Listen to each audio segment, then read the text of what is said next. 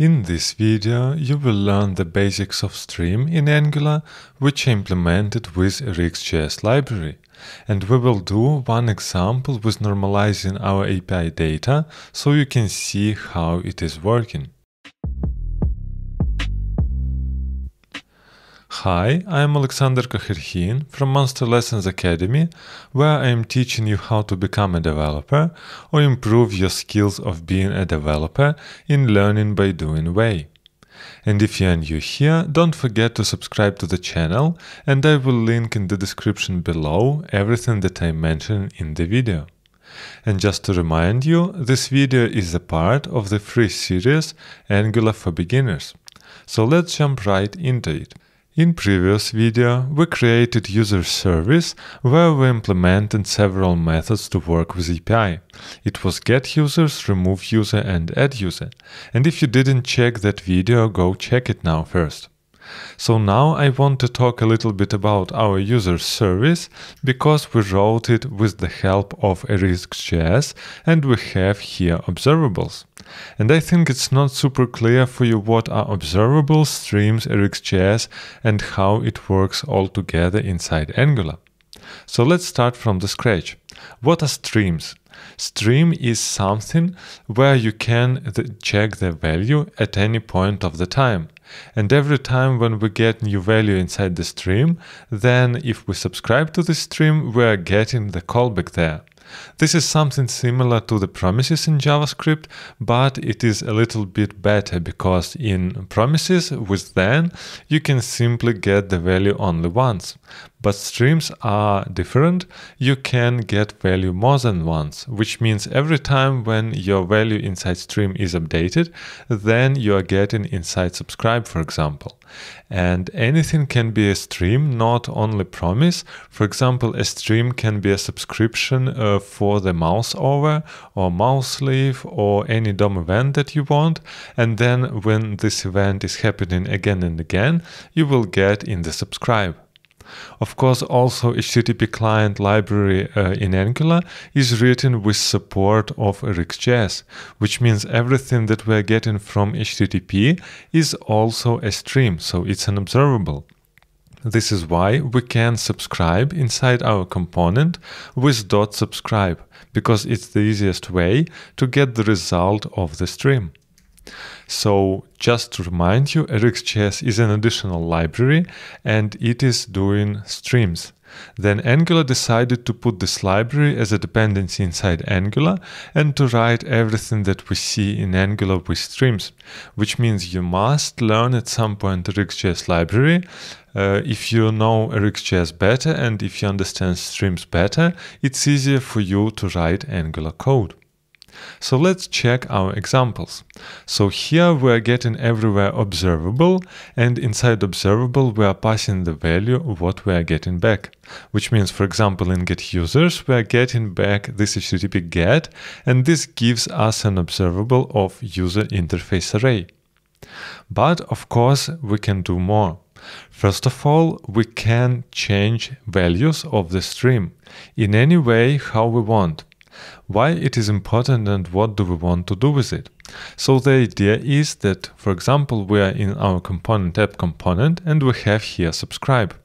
And it may be that we want to transform our stream or change it, or maybe uh, create several streams or combine several streams. We can all do it with the help of RxJS. This is why it is so important. In this video I want to check the simple way of normalizing data using RxJS. So here, for example, with get users, we are getting back an observable. But we can normalize data that we are getting from our API before they are coming to subscribe. Why it is good? That means that uh, we can use get users in every place and we don't need to write normalization when we call it inside our app component, for example.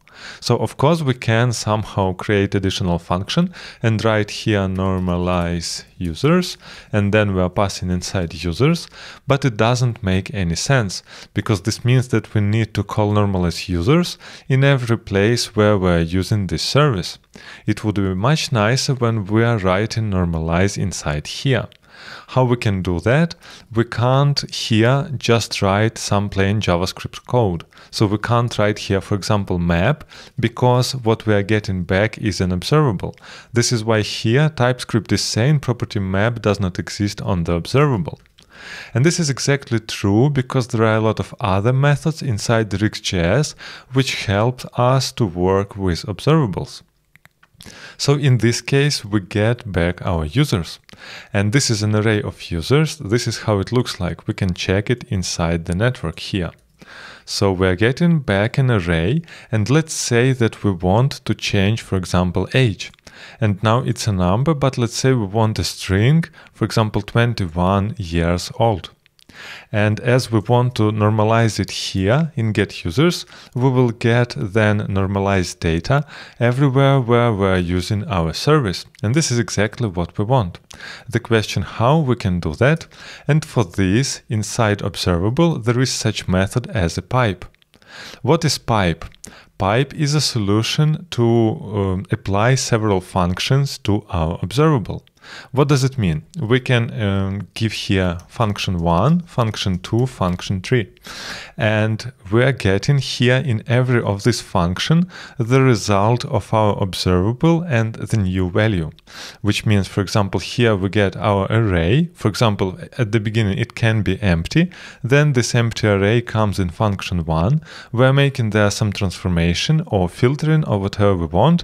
Then the result of function 1 go in function 2, in function function 3 and only then inside our app component here we're getting inside subscribe where we're getting the result after all these transformations. This is exactly how it works. So we need pipe in order to call some functions of RxJS on our observable. So for example, there is a function map inside pipe and we need to write it like this. So to normalize data inside our pipe, we are writing map function. And then inside this map function, we need to provide our function. So this is why we have here round brackets and then some result. The question is what we are getting as an argument. It's our users that we fetched, so we simply write here users, and this is user interface array. And let's say that inside I just want to return these users and don't do anything. So here is what we wrote. Dot pipe is to combine several functions after we did um, after we got our observable. And inside pipe, in this case, we have only map. So this is the first function. We can write here with comma other function. For example, one more map or filter or whatever you need.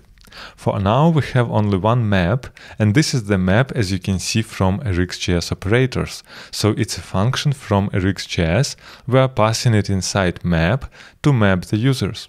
And here as an argument we are getting the array of users, so exactly the value of our observable. And this is really important to remember because if you work in JavaScript and you are using map, normally you think that inside map you are getting each uh, element of the array. But it's not the case with map inside RxJS. Here it works differently. You simply get a value of your observable, which means here we don't get uh, a user, uh, not each user of the array, but all users at once, like a value of our observable. This is why we have here users, this is user interface, and we simply return them. And let's save this file, look in console, we don't have any errors, and everything is working as previously. So because we didn't do any code here. What we want to do now is somehow transform these users. And inside here we can write completely plain JavaScript because here the users is just the array. So we can use for example map here and inside we have user and we want to normalize somehow differently data.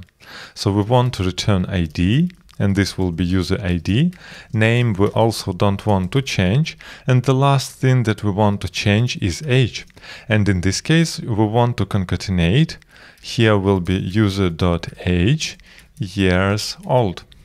This is it. And as you can see here, we're getting an error. Observable ID string, name string, age string is not assignable to type observable user interface array. Why it is happening? Because here age is string. And if we will open our user interface, you can see that age is number. This is why TypeScript is swearing. So we can write here that age will be string now and jump back to the servers. And as you can see now in our service, we don't have any error. So once again, we're writing here pipe, inside we have map to normalize data of our observable, and inside we can write any code to return the new value. In this case, we simply normalize with map our users, and here change the age. Now let's write console log inside our app component and check what we get inside our users. So here is our array of users. And when we reload the page, you can see that now age is a string. And here we have 21 years old. So this is exactly how you can work with RxJS and transform values of stream. And then inside subscribe, you simply get the values and you don't need to think about normalizations. And this is exactly how you are doing things in Angular. If you get from API the data in other format that you need for frontend, so you just write in service normalization and then use it as always inside your components. So we got here our users. Of course, it looks in template a little bit not correct because we have twice years old. So we can simply jump in our users list and remove here years old because we know that in user.age we already have this text. In this video, you learned how to work with streams and RxJS in Angular and how to normalize data with pipe and map if you are getting them from your API. And if Angular for Beginners course is too easy for you, don't forget to check my Advanced Angular course, which is going 14 hours, where I am creating the real application from start to the end. And I will link the link to this course and to my other courses in the description box below. And if you like this video and you want more content like this, don't forget to subscribe and put thumbs up. And I will see you in the next video.